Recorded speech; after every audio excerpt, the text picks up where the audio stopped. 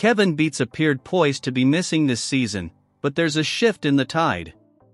Episode 14 will witness Kevin's comeback to rescue the family business.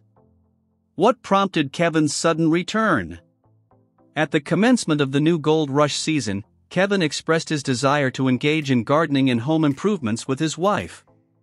It seemed apparent that he was growing weary of the mining lifestyle and sought more time with his spouse.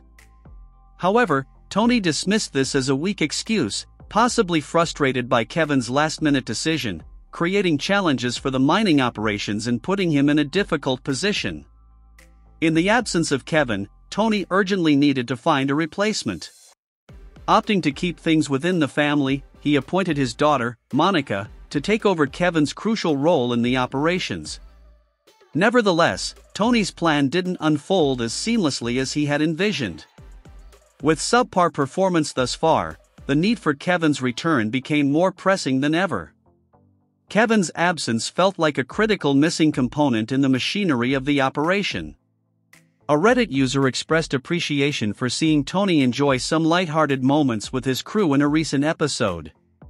However, the same user voiced a desire for Tony to take a step back and allow his children more opportunities to gain experience in managing the operations. They emphasize that unless Tony relinquishes some control and permits his kids to take on more responsibility, the prospect of Mike and Kevin becoming independent and Tony retiring remains unlikely.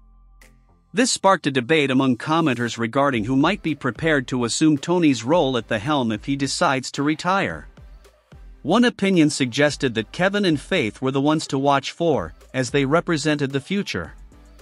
The commenter expressed skepticism about Mike's suitability for a leadership position, citing his strong work ethic but doubting his potential as a boss. In response, the original poster concurred that Kevin and Faith seemed poised to be the future leaders. However, they added that it's a collective effort, advocating for including Mike and Monica in the leadership narrative. The suggestion was for Tony to mentor Mike, being his son, and provide him with the opportunity to learn and manage the operation alongside Kevin. They drew parallels to how Tony mentored Parker, highlighting Parker's subsequent success. Tony and Minnie Beets are the proud parents of three children Kevin, Mike, and Monica, all actively contributing to their mining operations. Over the years, these Beets siblings have honed their individual skills, becoming indispensable assets to their Gold Rush parents' mining endeavors. Their distinct abilities contribute to the overall success of the operation, earning the admiration and pride of their parents. According to Tony and Minnie, Kevin, Mike, and Monica complement each other, creating a well balanced team. Minnie praised Kevin's mechanical prowess, emphasizing his tenacity in resolving issues.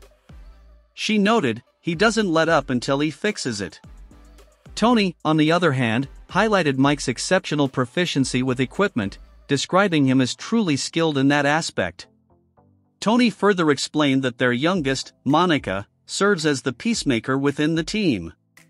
And Monica makes a good match between the two boys, she keeps them all nice and in line sometimes. They make a good group, the three of them, expressed the Gold Rush patriarch.